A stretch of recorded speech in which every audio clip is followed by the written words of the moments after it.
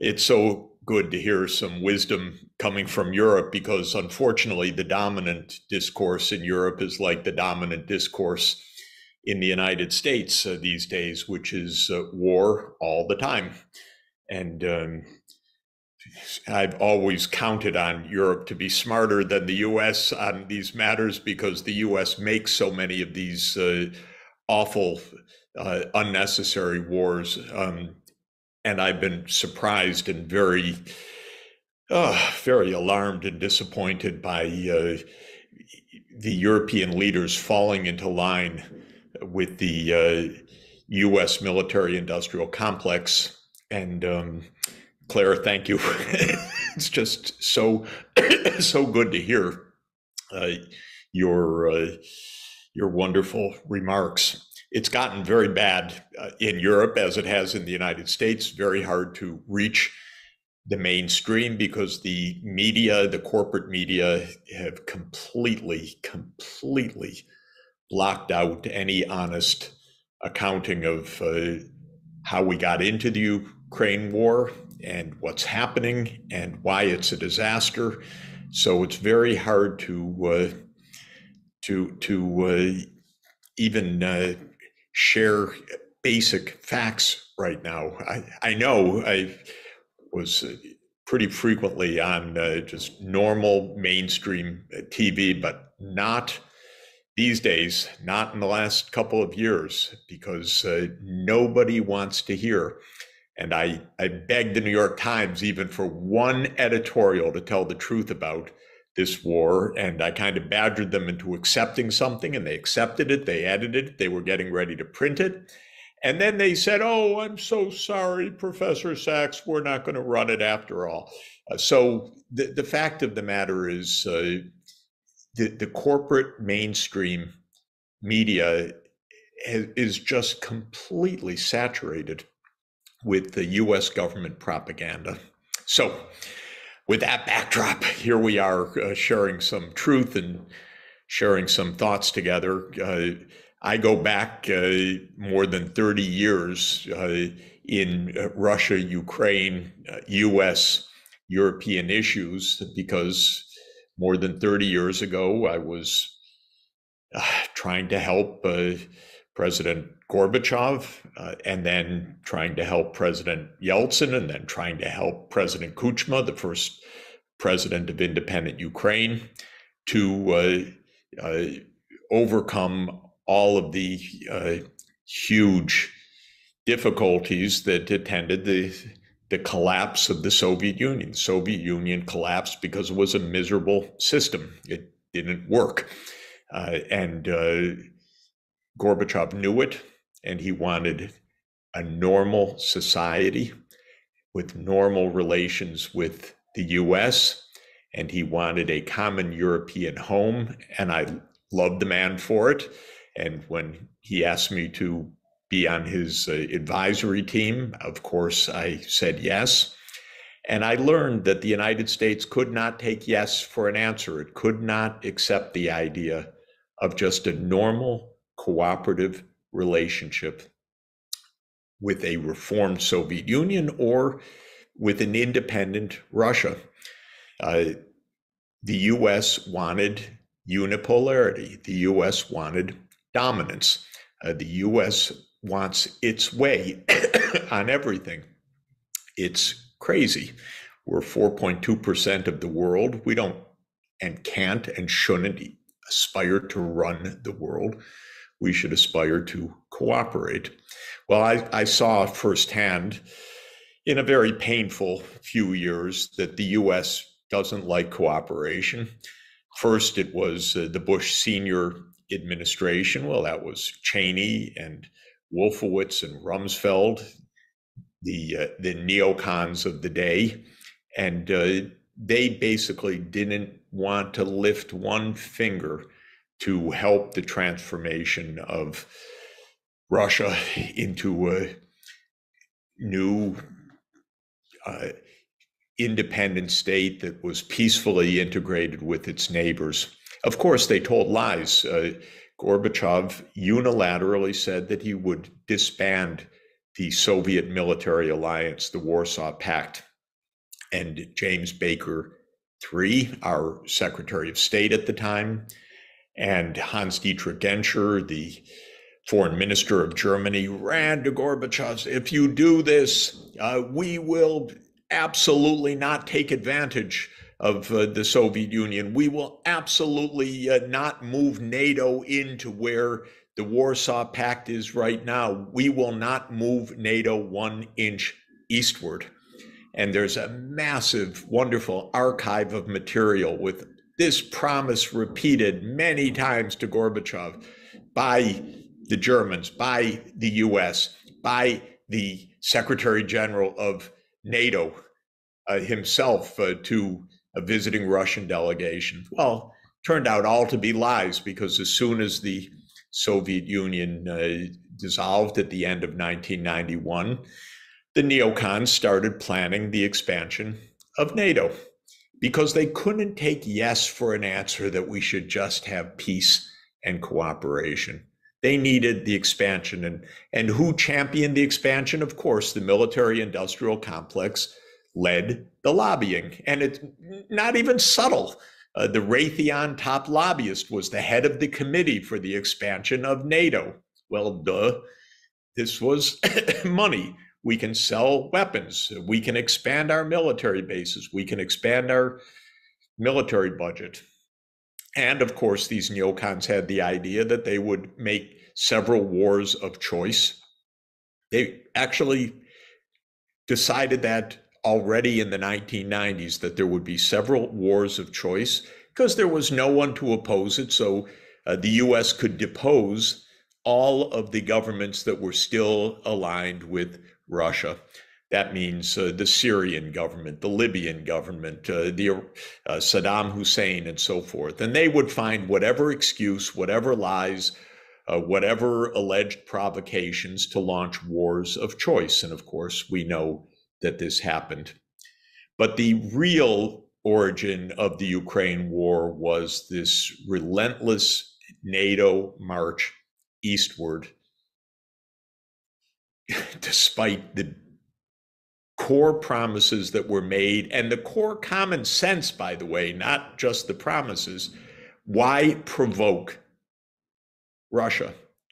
And when Clinton actually started the uh, the, the machinery of NATO enlargement, his own Secretary of Defense, William Perry, thought about resigning in protest because he thought it was such a terrible idea that this would just lead to a new Cold War, just at the time that relations were being normalized. And our top diplomats knew this. They understood this.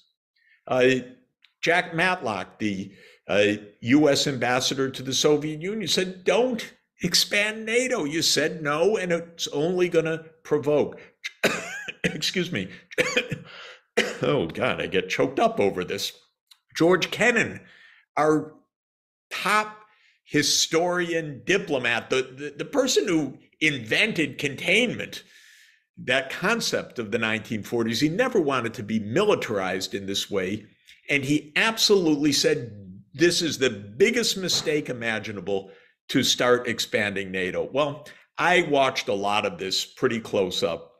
Uh, Clinton, kind of as usual, uh, not thinking very much, very short term thinking, uh, started uh, the NATO expansion in the 1990s. That was to Poland, Hungary, Czech Republic. The Russians were very unhappy, but it wasn't a big crisis. It wasn't on their border. Then Bush Jr. comes in, all the wars of choice. And not to mention, by the way, in 1999, Clinton bombs and not Clinton only, NATO bombs Belgrade for six straight weeks. Not exactly to Russia's liking, absolutely horrible. And uh, that worsened the relations further. Then in 2002, the neocons under Bush Jr. called for the unilateral U.S. withdrawal from the Anti Ballistic Missile Treaty. Unbelievable. the Russians said, stop, don't do this. This puts us in a threat. This destabilizes the nuclear deterrence, which is our basis for just peacefully being able to trust each other and keeping on a path of denuclearization. Well, the US unilaterally withdraws and starts planning for placing missiles near Russia. And the Aegis missiles go into Poland and Romania within the next decade.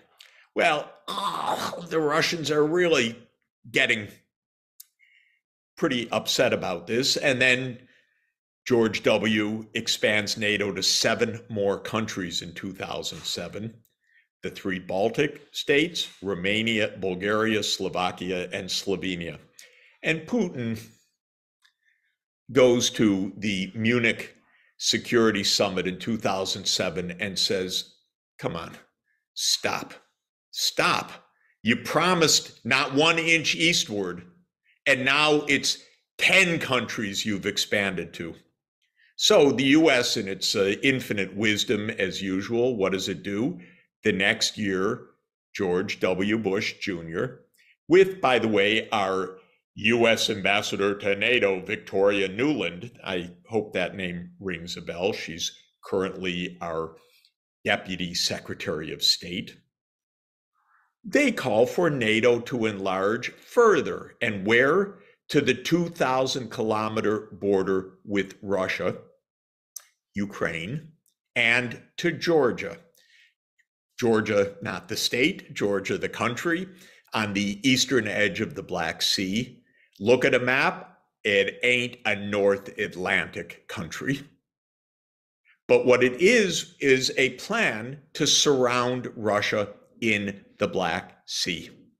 Because the idea was, and it was a very premeditated US idea, that with NATO enlargement, NATO would be in Ukraine, Romania, Bulgaria, Turkey, and Georgia, completely surrounding Russia in the Black Sea. And notably, Russia's naval base in Sevastopol. And that was the idea. That, by the way, was the same idea of Lord Palmerston in 1853. So it's not a very original idea. It was the whole basis of the first Crimean War. And so these neocons wanted to fight the Second Crimean War. And of course, you could hear the cheers of Britain, which is uh, imperialist nostalgia to the essence uh, in its political class. Yes, yes, yes, we can surround Russia and the Black Sea just like Lord Palmerston wanted to do a century and a half earlier. Well, Putin says, do not do this. This could be incredibly destabilizing. But by the way, it wasn't just Putin who sent a secret memo back from Moscow to Washington to Condoleezza Rice. Well, of course, none other than Bill Burns. Bill Burns was then the US ambassador to Russia. But you may recall the name. He's currently our CIA director. And he sent a secret memo because everything in the US government is secret, by the way. He sent a secret memo entitled Nyet means Nyet. And he explained he explained something so basic, so obvious that for Russia this is a absolute hardcore bright red line do not go to Ukraine and that it's not just Putin it's the entire Russian society. They don't want the US military bases. They don't want Aegis missiles. They do not want to be crowded on their border by the US military. And it makes perfect sense because we wouldn't like it either. But, you know, Americans are American, not Americans, American security state leaders who don't ask us Americans, they're a little hard of hearing. So, uh, did you say red line? We didn't hear that. So, of course, Bush pushes through the commitment by NATO to expand to Ukraine and to Georgia. I know European leaders told me in 2008, what is your president doing? But Europe, you know, they're, I don't get it exactly, but they will not oppose the US in public. So they complained to me, but then they, in the end, signed on to Bush's crazy idea of expanding NATO to Ukraine and to Georgia. Now, there was one last safety valve to understand in this, and that is the Ukrainians did not want this. Ukraine is a divided society, ethnically Ukrainian, ethnically Russian. They didn't want this crowding. They knew that this would destabilize the situation. So the elected president, Viktor Yanukovych, said, We will be neutral. We will not alarm Russia. Also, we'll extend a lease in Crimea for the Sevastopol naval fleet until 2042. We want quiet. The United States neocons don't like quiet. They do they want just to get their way. So in the end of 2013, they helped stoke first protests against Yanukovych and then the violent overthrow of Yanukovych in February 2014. And we know that Victoria Nuland and Jake Sullivan and Joe Biden all played a role in the violent overthrow of the Ukrainian president. That's just a fact. Now, so much is hidden from view that we don't know exactly time and date, but the Russians intercepted one of Victoria Nuland's phone calls and posted it on YouTube so everybody can listen to it as she and the US ambassador to Ukraine, Jeffrey Pyatt, plot the next post Yanukovych government several weeks before a violent storming of the government buildings in Kiev. That's what happened. That's when the war started. We overthrew the government that wanted stability. And in came a series of governments that were Russophobic and pro NATO and at the American service.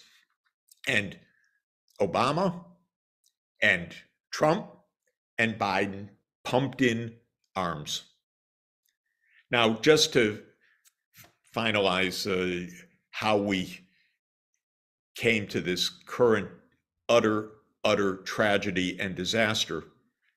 When Biden came in, I had hopes, okay, maybe something rational. No way. Biden doubled down on Ukraine becoming a NATO member, doubled down repeatedly in 2021, said NATO will enlarge to Ukraine.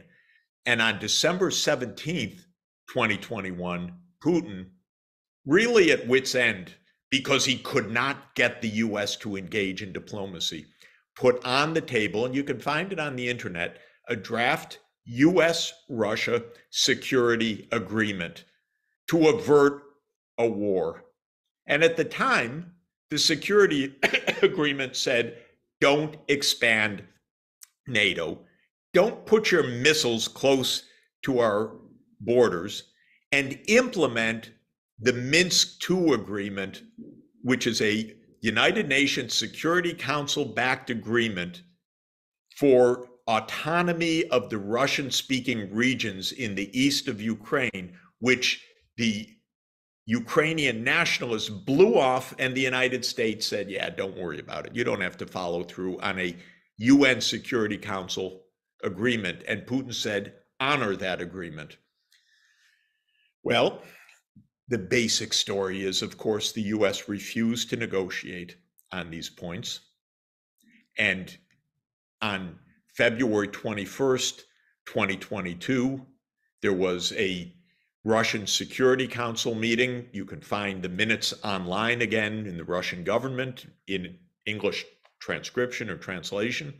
President Putin calls on the foreign minister, Sergei Lavrov, Minister Lavrov, give us a report on your diplomatic initiatives uh, in regard to our security. And Lavrov says the United States has formally notified us that the NATO enlargement issue is non negotiable, that it's none of our business. That was the final step before the Russian invasion on February 24th. We rejected every single diplomatic chance to avoid a war. And we thought, okay, our wonderful weapons and our uh, our financial sanctions uh, will do Russia in. And by the way, you know, I've been observing these kinds of things for 40 years. I wrote an article. It was, uh, I think, in June actually, so it was a couple months after this, saying that these neocon ploys are doomed to fail. The sanctions aren't going to kill the Russian economy. The the wonder weapons are not going to defeat uh, Russia and so forth. So obvious, so obvious if you've seen this uh, particular show repeatedly, as we have all the promises of our generals and the military industrial complex and all the rest wrong again and again and again. But what we did do was trap Ukraine in a devastating war between the US and Russia. So we provide the weapons, we provide, and I'll put it in quotation marks, the intelligence, because it's not very intelligent intelligence. And we tell them run to the front lines. And tens of thousands of Ukrainians have died just in recent weeks because of this. An absolutely predictable bloodbath. And when the Ukrainians tried to negotiate with the Russians in March, 2022, just after the start of the invasion, the US stopped the negotiations. And when the chairman of the Joint Chiefs of Staff, General Milley, said last fall, you know, maybe this is the time to negotiate. The chairman of the Joint Chiefs of Staff, who steps up? Secretary Nuland, the endless neocon. Doesn't matter whether she's working for Cheney, whether she's working for Hillary, whether she's working for Biden, she's the perpetual neocon. says, no, no, the time's not right for negotiations. What is the subtext of that? Well, a lot more Ukrainians have to die. And that's where we are right now. And this administration doesn't know what to do because all its great plans backfired, but Biden doesn't want to look weak. He's, you know, facing an election next year. So as usual, they just tell the Ukrainians just keep running into the Russian lines. Just keep dying. It is the cliche fight to the last Ukrainian. And we even have senators like Romney say, you know, this this great. What's the problem? No Americans are dying. I'm paraphrasing, but that's basically what Romney says and what a lot of American leaders are saying. Yeah, we could put in $100 billion. What, what is that among friends in the military industrial complex? Of course, it means a lot to Americans who might care about their sustenance. But what they really think is, yeah, if the Ukrainians are ready to die for this, it, it weakens Russia and so forth. and that's where we are till now. So, my conclusion we could have avoided this war entirely.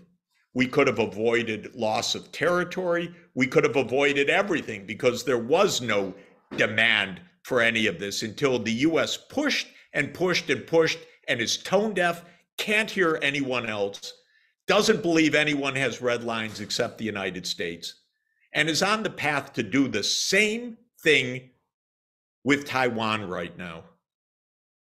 And that's the war talk. So we're not out of this by any means. We're still in the midst of this neocon dominated American foreign policy. It, it's what Kissinger famously said to be to be a, a foe of the United States is dangerous, but to be a friend is fatal. So we embrace our friends like Ukraine to the point of their destruction. And now we're angling or threatening or escalating in our tensions with China for a war, over Taiwan. Unbelievable. I was just in Taiwan a couple of weeks ago. What a wonderful and beautiful place and very successful. And we are stoking a crisis by feeding it with armaments. So sorry to have talked so long, uh, but thank you for being the voices for peace and sanity and rationality in this country. Biden's asked for another 20 plus billion. This is our moment to say, stop, stop it already. Your reelection actually, Mr. Biden, doesn't count compared to the lives you are wasting, the tens of thousands who will die because you don't want an embarrassment on your watch. It's not going to help your campaign to be in a war next year. Nobody wants this in the United States. We don't like this. This is dangerous. This is unnecessary. We don't support you, Mr. President, in this.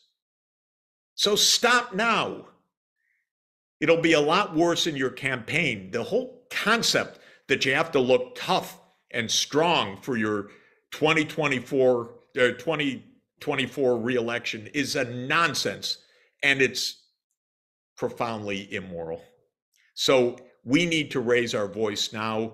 I think more and more congressmen and senators are getting the idea that while they don't ask us our opinions in the United States about these issues, because it's not really about what Americans think, it's about what the military industrial complex demands.